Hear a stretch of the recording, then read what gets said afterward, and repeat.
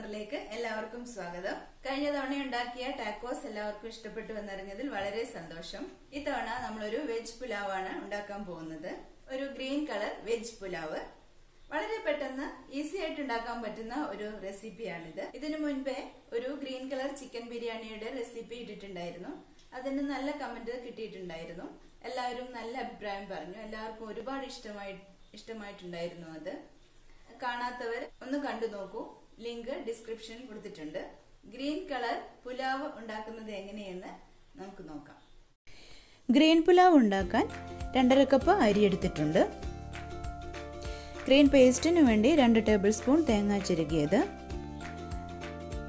രണ്ട് പച്ചമുളക് ഒരു ഇഞ്ചി ഇഞ്ചി രണ്ട് വെളുത്തുള്ളി അല്ലി.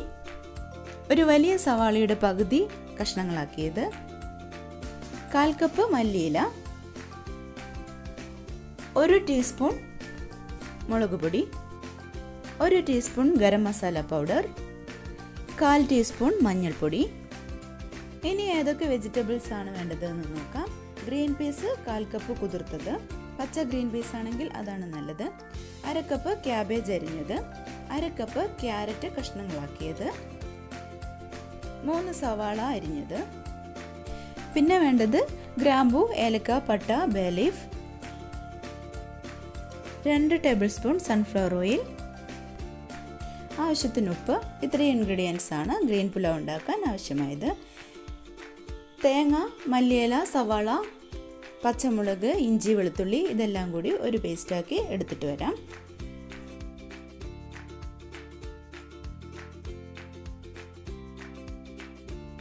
പുലാവിന് ഗ്രീൻ കളർ വരാൻ വേണ്ടി പച്ചമുളക് കൂടുതൽ എടുത്താൽ മതി. ഞാൻ മുളക് പൊടി എടുത്തിട്ടുണ്ട്. അതുകൊണ്ട് രണ്ട് പച്ചമുളക് എടുക്കുന്നുള്ളൂ. നിങ്ങൾക്ക് വേണമെങ്കിൽ മൂന്നോ നാലോ പച്ചമുളക് എടുത്തിട്ട്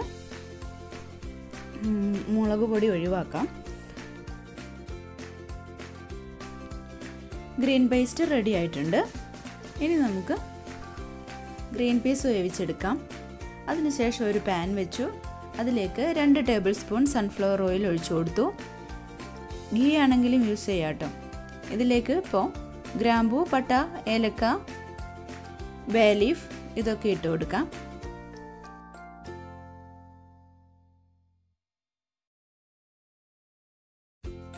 പട്ട ഗ്രാമ്പു ഏലക്കായുടെ ഒക്കെ ഒരു മൂത്ത മണം വരുന്ന സമയത്ത് അതിലേക്ക് അരിഞ്ഞു വെച്ച സവാള ഇട്ട് കൊടുക്കാം. സവാള നന്നായി ഒന്ന് വഴന്നു വരണം. സവാള ഒന്ന് ചൂടായി തുടങ്ങുമ്പോൾ അതിലേക്ക് കുറച്ച് ഉപ്പിട്ട് കൊടുത്തിട്ട് നന്നായി ഇളക്കിയെടുക്കാം. അപ്പോൾ പെട്ടെന്ന് വഴന്ന് കിട്ടും. സവാള ഒന്ന് ചൂടായി വന്നിട്ടുണ്ട്. അതിലേക്ക് അര ടീസ്പൂൺ ഉപ്പിട്ട് കൊടുത്തു. ഒന്ന് നന്നായി വഴറ്റിയെടുക്കാം.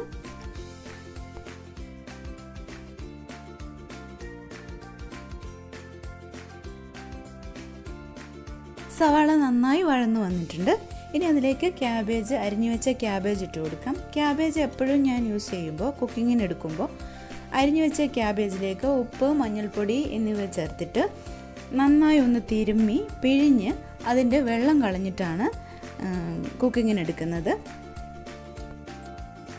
ഇങ്ങനെ പിഴിഞ്ഞെടുക്കുമ്പോഴത്തേക്കും നേരത്തെ ഉണ്ടായിരുന്ന അത്ര അളവിൽ തന്നെ ഉണ്ടാവില്ല ക്യാബേജ്. അരക്കപ്പ് ക്യാബേജ് എടുത്തിരുന്നു. അതിപ്പോൾ ഒരു കാൽ കപ്പോളം മാത്രമേ കാണാനുണ്ടാവുള്ളൂ. ഇനി ഇതിലേക്ക് കാൽ ടീസ്പൂൺ മഞ്ഞൾപ്പൊടി ഒരു ടീസ്പൂൺ മുളക് പൊടി ഒരു ടീസ്പൂൺ ഗരം മസാല പൗഡർ എന്നിവ ഇട്ട് ഒന്നിളക്കി ചേർക്കാം.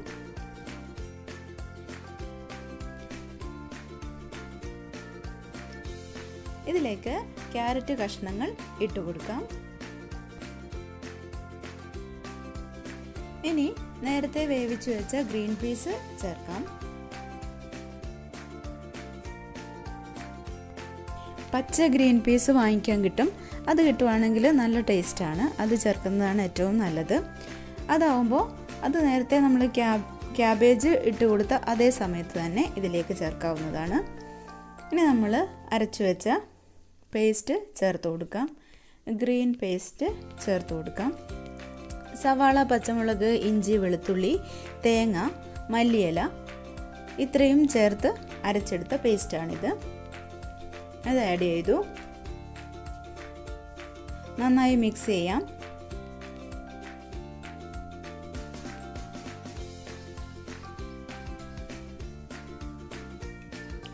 ഇനി ഇതിന്റെ പച്ചച്ചുവ മാറണം.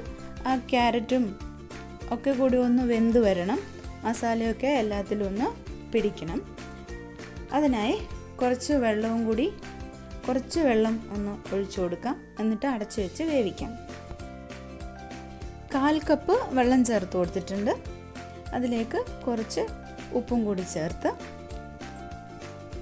നന്നായി ഇളക്കി ഒന്ന് അടച്ചു വെച്ച് വേവിക്കാം.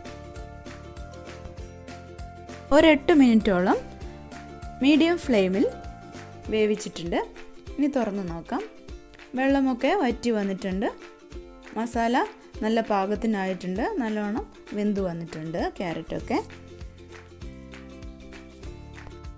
ഇനി ഈ മസാലയിലേക്ക് നമ്മൾ നേരത്തെ വേവിച്ച് വെച്ച റൈസ് മിക്സ് ചെയ്യാം.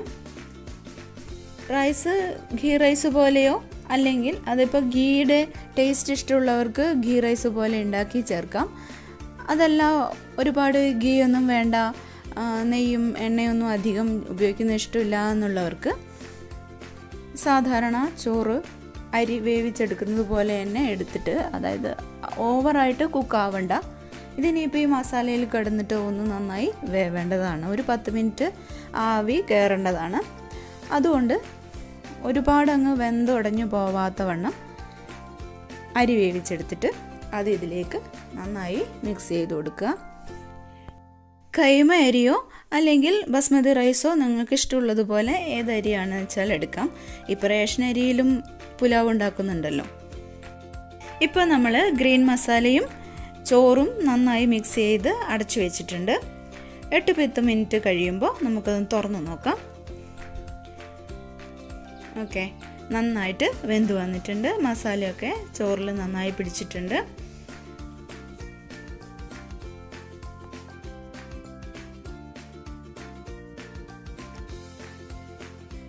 കുറച്ച് മല്ലിയില മുകളിൽ ഇങ്ങനെ വിതറി കൊടുത്തിട്ട് ഒന്ന് അടച്ചു വെച്ചിട്ട് ഫ്ലെയിം ഓഫ് ചെയ്യാം.